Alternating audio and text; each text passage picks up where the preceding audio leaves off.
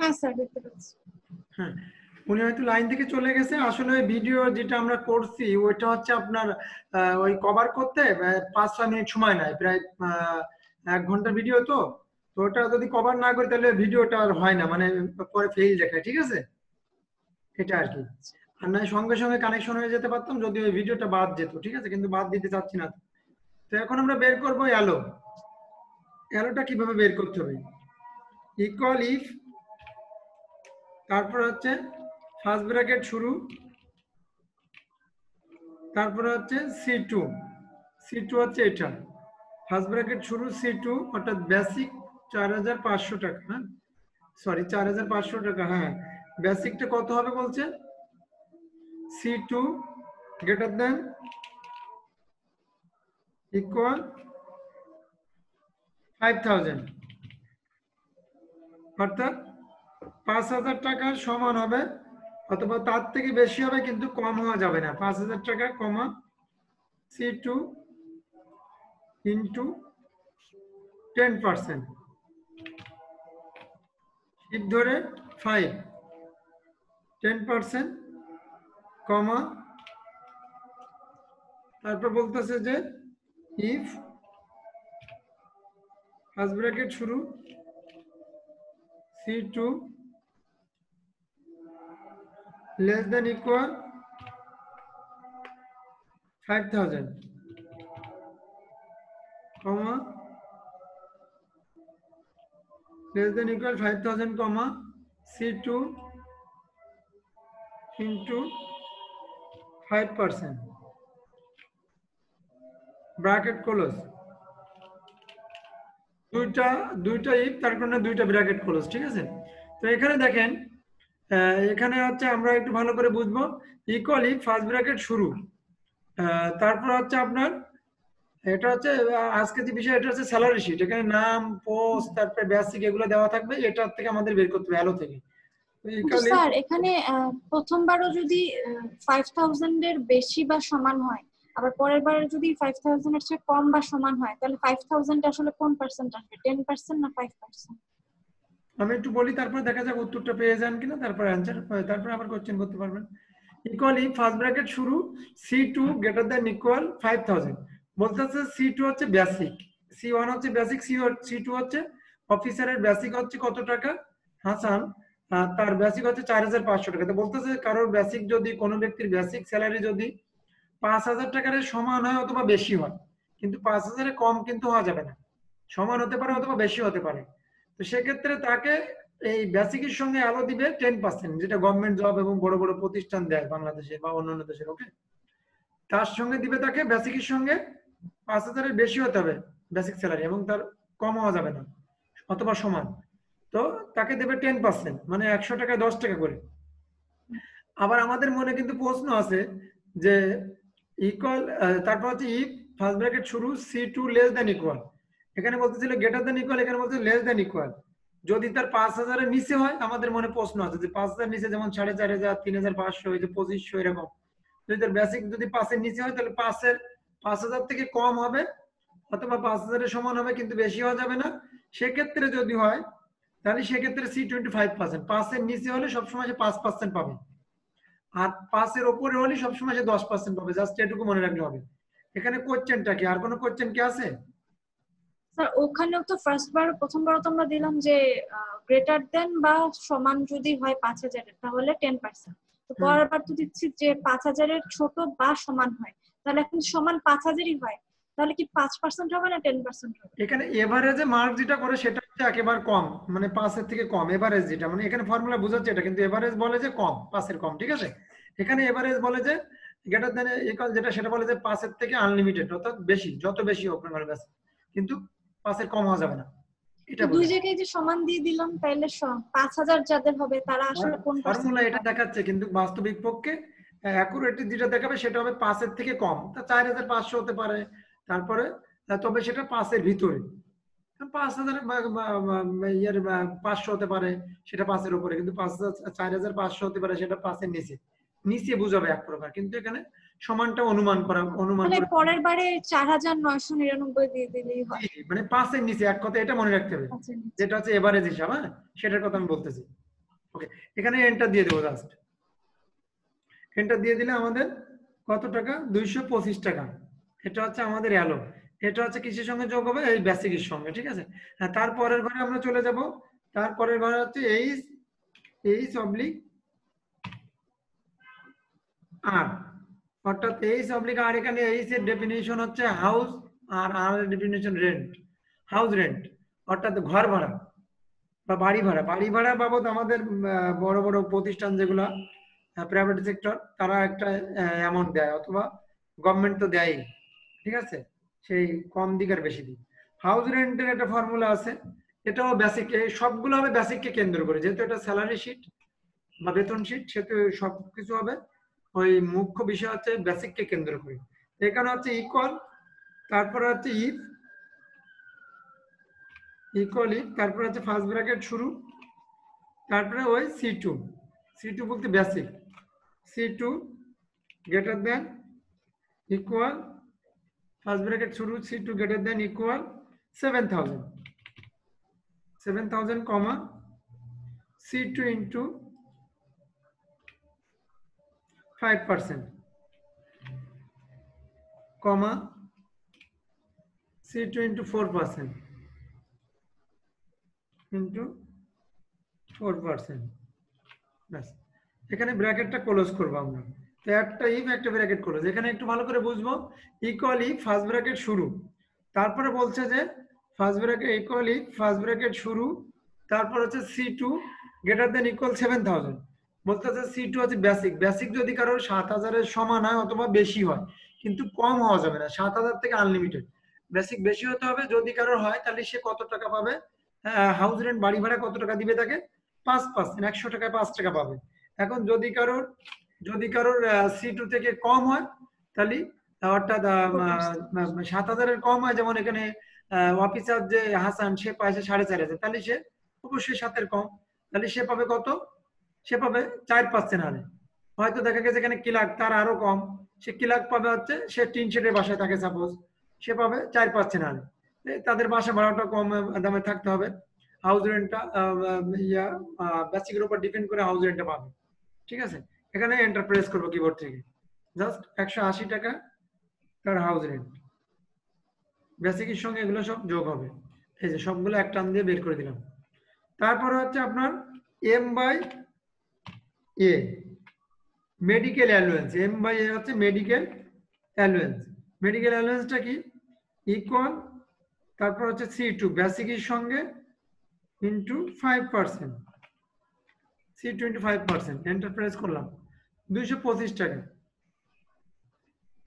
Medical অ্যালুয়েন্সটা অর্থাৎ যে আমাদের ফ্যামিলি বা নিজের রোগ শোক বাবদ যে অ্যামাউন্টটা গভর্নমেন্ট বা বড় বড় প্রতিষ্ঠান দেয়। সেটা আর কি অ্যালোর সঙ্গে ওই সেটা আর কি বেসিকের সঙ্গে যোগ হবে এগুলো সব। এরপর হচ্ছে O TH overtime hour O TH O full stop T full stop sir sir medical অ্যালাউন্সটার ফর্মুলাটা বুঝি নাই। ও মেডিকেল অ্যালাউন্সটা হচ্ছে বেসিকের সঙ্গে বেসিকের সঙ্গে পাঁচ পার্সেন্ট মেডিকেল অ্যালাউন্স পাঁচ পার্সেন্ট এখানে বলতে পারেন স্যার এখানে বেসিক ডিপেন্ড করে না। না বেসিক এখানে ডিপেন্ড করে না কারণ রোগ শোক রোগ শোক অফিসারেরও হয়, দরিদ্র কিলাকেরও হয়, ঠিক আছে? পিওনেরও হয়। তো ওটা সবার জন্য পাঁচ পার্সেন্ট একশো টাকায় পাঁচ টাকা করে পাবে, ওকে? এটা আর কি। তাই তো বিস্তারিত বলি নাই। একেবারে সহজ একটা জিনিস, কারণ এটা সবাই পাঁচ পার্সেন্ট হারে পাবে হ্যাঁ? তারপর হচ্ছে ওটিএইচ হচ্ছে over time hour over time আওয়ারটা কি? ওভার টাইম আওয়ার সেটার আমাদের দেখেন কোনো ফর্মুলা নাই। তো ওভার টাইম আমার কোনো ফর্মুলা লাগবে না। এটা হচ্ছে যারা ওভার টাইম করবে তাদের। যেমন ওভার টাইম কেউ করছে, হাসান করছে দশ ঘণ্টা, তারপরে আর একজন করছে, মনে করেন যে বিশ ঘণ্টা, এখানে আমাদের সিটা বছর চল্লিশ ঘণ্টা দেওয়া আছে, কিন্তু চল্লিশ ঘণ্টা ওভার টাইম কারণ হয় না। তো আপনি বিশ ঘণ্টা দিয়ে নেবেন বা দশ ঘণ্টা দিয়ে নেবেন যেটা ইচ্ছা হ্যাঁ? দশ ঘণ্টা দিয়ে নিলে হবে। তো যেভাবে আছে এভাবে বসায়, বসালে আমাদের বুঝতে সুবিধা হবে, নাই যদি নতুন একটা সংখ্যা দেন, সেটা আপনি বুঝে নেবেন আর কি। এভাবে হচ্ছে ওভার টাইমটা বসাই দিবেন। O TH over time hour কে কয় ঘণ্টা ওভার টাইম করছে। কেউ করবে কেউ করবে না, এটা স্বাভাবিক। তারপর হচ্ছে, পরের ঘরে চলে গেলাম ও টি আর এইচের ঘরে। এইচের ঘরে হচ্ছে O T O full stop T full stop আর ওভার টাইম রেট এটার আবার ফর্মুলা আছে। ওভারটাইম রেট হচ্ছে ওভারটাইম রেটটা কীভাবে, কা- কার রেট কত পড়বে? তো ইকুয়াল টু তারপর হচ্ছে আপনার সি টু সি টু হচ্ছে এখানেও বেসিককে কেন্দ্র করে? সি টু ভাগ টোয়েন্টি সিক্স ভাগ এইট এখানে ওভারটাইম রেটটা বের করতে হলে আমাদেরকে সি টু বেসিককে ভাগ দিতে হবে কত দিয়ে? টোয়েন্টি সিক্স দিয়ে। টোয়েন্টি সিক্স কোথায় পেলাম? আপনার হয়তো প্রশ্ন আসতে পারে। টোয়েন্টি সিক্স হচ্ছে মাস। এক মাসে সাধারণত শ্রমিক প্রাইভেট হোক আর গভর্নমেন্ট হোক কত ঘণ্টা কাজ করে? এক মাসে ছাব্বিশ দিন কাজ করে। সাধারণত একদিন ছুটি ধরা হয়। সাপ্তাহিক একদিন ছুটি।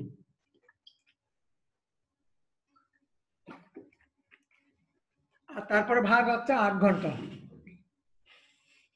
আট ঘণ্টা ভাগ দিলে এটা আমরা এন্টার প্রেস করলে কিবোর্ড থেকে আমাদের ইয়েটা বের হয়ে যাবে। কি বের হয়ে যাবে? আমাদের over time rate over time rate কত আসলো?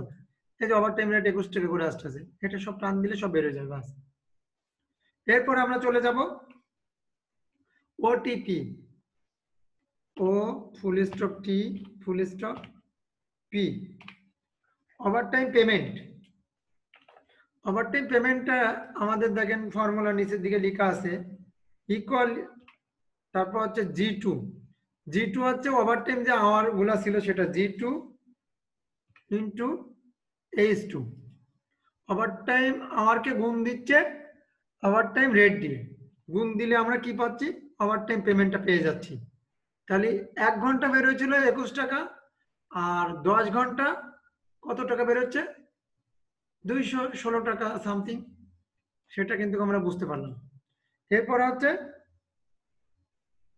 ওভার টাইম পেমেন্টটা পেয়ে গেছি। তারপর হচ্ছে আপনার P by F P by sir এটা G two into OTP OTR হ্যাঁ ওটিআর ওটিআর হচ্ছে হচ্ছে বেসিক বেসিক ভাগ টোয়েন্টি সিক্স ছাব্বিশ দিন এক মাসে ছাব্বিশ দিন মানুষ কাজ করে। হ্যাঁ না ওটিপিটা কীভাবে বের করলাম? মিনিমাম যে কোনো দেশের রুলস হচ্ছে দিন ছুটি থাকবে মাস সপ্তাহে একদিন। এরপরে এইটা হচ্ছে আট ঘণ্টা ইন্টারন্যাশনাল ওয়ার্কিং আওয়ার হচ্ছে আট ঘণ্টা। তারপরে চলে যায় আশা করি বুঝতে ওটিপিটা তো ওটিপিটা তো ওটিপির ফর্মুলাটা? হ্যাঁ ওটিপি ওটিপি হচ্ছে G two into H two G two হচ্ছে আপনার হাউ জি টু হচ্ছে আপনার ওভার টাইম আওয়ার কয় ঘণ্টা ওভার টাইম করছিল হ্যাঁ। ওভার টাইম রেটটা দেখেন পড়ছিল একুশ টাকা করে। তো দশ ঘণ্টা করছে তাহলে দশ ঘণ্টার সঙ্গে গুণ হয়েছে একুশ টাকা সামথিং তো গুণ হয়ে এই টাকাটা বের হয়েছে। তা G two into H two overtime hour into overtime rate okay সেটা পেয়ে গেল ওভার টাইম পেমেন্ট ওকে তারপরে চলে যাই আমরা P by F provident fund দেখবেন যারা গভর্নমেন্ট জব করে বা ভালো ভালো প্রতিষ্ঠানে জব করে, তাদের কিন্তু একটা প্রভিডেন্ট ফান্ড থাকে। অর্থাৎ তারা মাসিক একটা অ্যামাউন্ট কেটে রাখে ওই যে, যখন তারা রিটায়ার্ড করে, তখন তারা ওই অ্যামাউন্টটা পেয়ে যায়। ঠিক আছে? তো প্রভিডেন্ট ফান্ডের একটা সূত্র আছে। ইকুয়াল তারপর হচ্ছে ইফ তারপর হচ্ছে ফার্স্ট ব্র্যাকেট শুরু। এটাও কিন্তু আবার প্রভিডেন্ট ফান্ড হচ্ছে ওই যে এর উপর ডিপেন্ড করে বেসিক উপর। কারণ বেসিক ভালো না হলে প্রভিডেন্ট ফান্ডে টাকা রাখবে কি করে? তাহলে C two greater than equal C two greater than equal কত? Five thousand five thousand comma C two C two into দশ পার্সেন্ট টেন পার্সেন্ট তারপরে হচ্ছে কমা তারপরে হচ্ছে C two into five percent এখানে ব্র্যাকেট ক্লোজ এখানে একটু বিষয়টা বুঝাইতে হবে। ইকুয়ালি ফার্স্ট ব্র্যাকেট শুরু। সি টু হচ্ছে বেসিক গ্রেটার দেন ইকুয়াল মানে পাঁচ হাজার থেকে কারোর বেসিক বেশি হলে, অর্থাৎ পাঁচের সমান হবে অথবা বেশি হবে, যদি কারোর এরকম বেশি হয়, তাহলে পাঁচ থেকে তার বেসিক বেশি, পাঁচ হাজারের বেশি যার বেসিক আছে, সে হচ্ছে সি টোয়েন্টি টেন পার্সেন্ট মানে দশ হা- দশ পার্সেন্ট হারে প্রভিডেন্ট ফান্ডে রাখবে। একশো টাকায় দশ টাকা রেখে দেবে সে। বাকি নব্বই টাকা গ্রহণ করবে হ্যাঁ? তার ভবিষ্যতের জন্য। তারপর হচ্ছে কমা আর কারও বেসিক যদি পাঁচের নিচে হয় তাহলে কি? পাঁচ পার্সেন্ট দুই হাজার পাঁচশো হতে পারে তিন হাজার পাঁচশো হতে পারে চার হাজার পাঁচশো হতে পারে চার হাজার নয়শো হতে পারে এরকম যদি হয় তাহলে সে পাঁচ পার্সেন্ট হারে প্রভিডেন্ট ফান্ডে রাখবে। তাহলে আশা করি বুঝতে পারছেন খুব সহজ একটা জিনিস। এখান থেকে এক টান দিয়ে বের করে দিব আমরা। তারপরে হচ্ছে, তারপর হচ্ছে গ্রোস গ্রোস পেমেন্ট এখানে গ্রোস পেমেন্টের ফর্মুলা আছে। তো তার আগে আমরা দেখেন কের ঘরে আমাদের ফর্মুলা আছে বা আমাদের শিটে আছে advance V N C advance advance বলতে মানে অগ্রিম অগ্রিম কে কত টাকা নিয়েছিল? অগ্রিম কে কত টাকা নিয়েছিল বা অগ্রিম কেন নেয়? যেমন একজন কর্মচারী সরকারি অফিস হোক আর বেসরকারি অফিস হোক জব করে। জব করে কিসের জন্য? সে তার ফ্যামিলির জন্য, নিজের জন্য, তাই না? সাপোর্ট দেওয়ার জন্য। তো মনে করেন হঠাৎ তার ফ্যামিলি কেউ একজন অসুস্থ হয়ে গেল, এখন তার পকেটে মনে করেন মাসে বিশ তারিখ। তার পকেটে কোনো টাকা নাই। তো তখন সে কি করবে? তখন সে অবশ্যই যেখানে তার কর্মসংস্থান, যেখানে সে কাজ করে, সেখান থেকে সে অ্যাডভান্স নেবে। অ্যাডভান্স না নিলে সে কীভাবে? এটা ডাক্তার দেখাবে। কীভাবে সে ট্রিটমেন্ট নিবে, তাই না? সেক্ষেত্রে অ্যাডভান্স কে কত টাকা নিচে এটা আন্দাজে বসাই দিতে কারণ কে কত টাকা নিচে আমাদের কাছে তো হিসাব নাই। আমরা তো ওই অফিসে জব করি না, ওই অফিসে যারা জব করে তারা বলতে পারবে। তো পাঁচশো টাকা নিচে মনে করে হাসান, মিনা নিচে তিনশো টাকা, আর টিটু কোনো টাকা নেয় নাই। টিটু হচ্ছে বড় লোক মানুষ, সে হচ্ছে এমডি মানুষ, পনেরো হাজার টাকা বেতন পায়, তার কোনো টাকা লাগে না, তার বেসিক অনেক বড় হ্যাঁ? তারপরে কলিনি কলি নিচে আপনার চারশো পঞ্চাশ টাকা, আর কেউ অ্যাডভান্স নেয় নাই। তারপরে হচ্ছে দেখেন এখানে পরবর্তী এল এর ঘরে হচ্ছে জি ডট পে মানে gross pay G dot pay P A Y pay মানে গ্রোস পে গ্রোস পেমেন্ট কত, তাই না? গ্রোস পেমেন্টটা আমরা এখন হিসাব করব, তো গ্রোস পেমেন্ট বলতে গড় গড় বলতে যোগ আর কি। তো ফার্স্ট টাইম তারপর হচ্ছে গ্রোস পেমেন্ট দেখেন, এখানে সব ইনকামগুলো আমরা যোগ দিছি আর কি।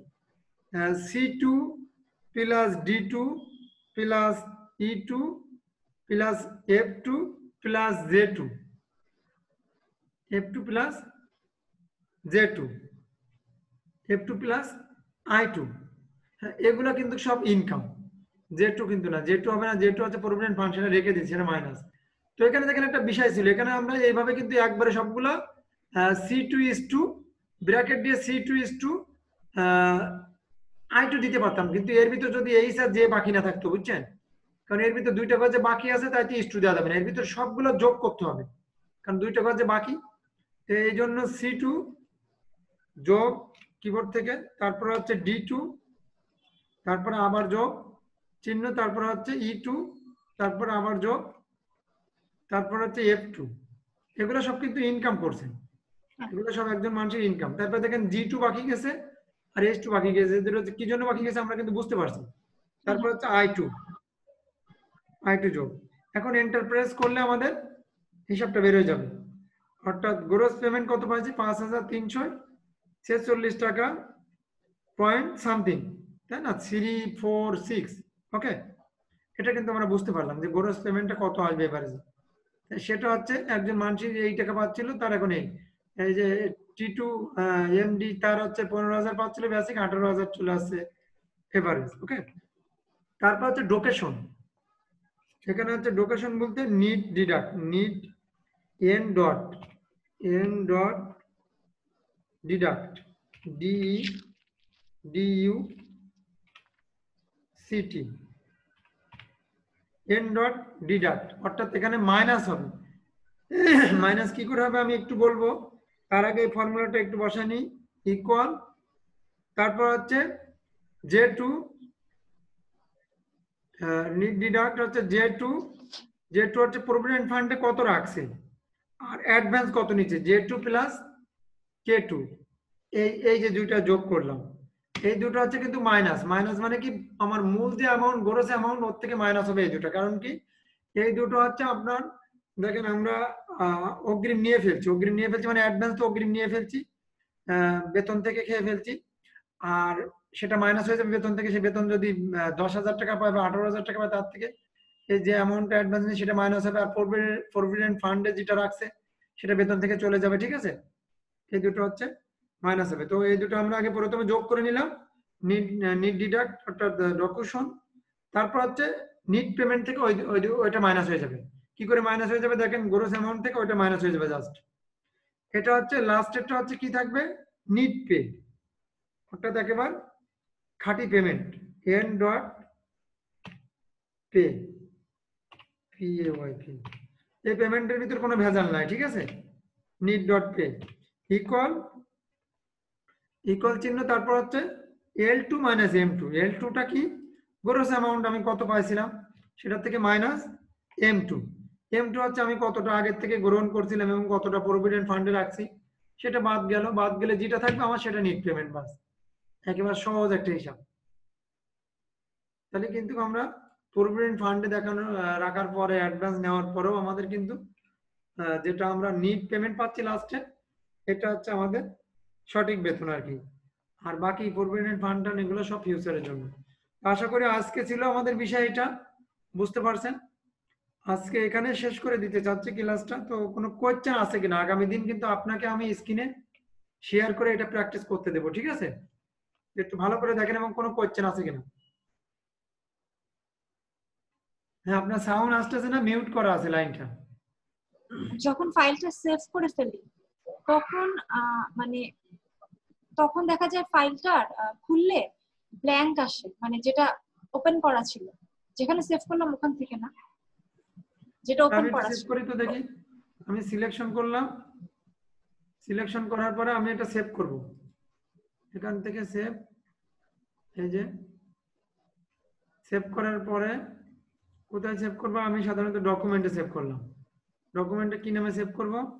যেমন S T C C B S T C B two নামে আছে, তাহলে এস টি সিবি এইট দিলাম এখানে বাস এসটিসিবি এইট নামে আমি এক্সেল ওয়ার্কবুক এক্সেল ওয়ার্কবুক থাক।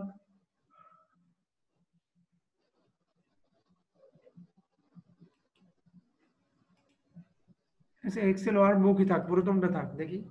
এখানে কোথায় সেভ করব? এখানে সেভ করলাম। হ্যাঁ আমি এটাকে ক্লোজ করে দিতে চাচ্ছি।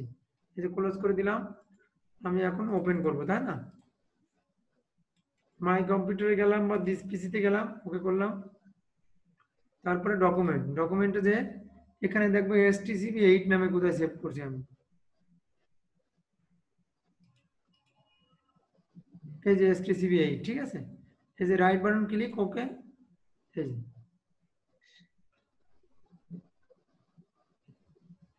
এই আমারটা চলে আসলো যে আপনার সামনে তো করলাম। তবে আপনি একটা কাজ হ্যাঁ আপনি দেখেন আপনি এই যে সেভ এজে গেলাম যাওয়ার পরে আপনি মনে হয় সেভটা আপনার করা পড়ছে এই যে এক্সেল ওয়ার্ক বুক নামে করা পড়ে না অন্য কোনো অপশনে হয়তো এইচটিএমএল এ চলে গেছে হ্যাঁ ডোন্ট মাইন্ড হতে পারে অন্য কোনো অপশন ওপেন আছে এগুলো ওপেন থাকলে আপনাকে ওরকম হয়তো ব্ল্যাঙ্ক দেখাইতে পারে। আমি বলতে পারব না কিন্তু আমি এটা প্র্যাকটিস করে আমি বলতে পারব। কিন্তু আমার মনে হয় অন্য কোনো অপশন দিয়ে সেভ করা পড়ছে। তো আপনি এক্সেল ওয়ার্ক বুক দিয়ে সেভ করেন আমার সামনে। আপনি স্ক্রিন শেয়ার করে সেভ করেন তো এই ডকুমেন্টটা বা সামান্য কিছু লিখে একটা সেভ করেন। আমি সেই স্ক্রিন শেয়ার চাবো? না না স্যার হবে মনে হয়। এটা মনে হয় আমার আগের কোনোটা ওপেন ছিল সেই। আচ্ছা আগামী দিন আগামী দিন আপনি প্র্যাকটিস যখন করব ফার্স্ট টাইমে সাতটা বাজে চলে আসবেন। প্র্যাকটিস করলে তখন দেখাবো। আজকের সময়টা অনেক লেট হয়ে গেছে। ক্লাসটা এখানে ক্লোজ করতে চাচ্ছি। এটা ঠিক আছে আর কোনো কোয়েশ্চেন না থাকলে ক্লোজ ঠিক আছে স্যার ভালো থাকবেন আর আমি ভিডিও চ্যানেল দিয়ে দিচ্ছি। আপনি চ্যানেলটা জাস্ট ইউটিউবে ক্লিক করে আপনার ভিডিও আপনি যে কথা বলছেন বা যে কাজটা করছেন সবকিছু এবং আমাদের চ্যানেলের ভিডিওগুলা সব আপনি দেখতে পারবেন। ওখানে সাবস্ক্রিপশন করবেন জিমেল দিয়ে আর হচ্ছে বেল আইকনটা জাস্ট চেপে রাখবেন। তাহলে আপনার সামনে সব ভিডিও চলে যাবে। ওকে ভালো থাকবেন। Thank you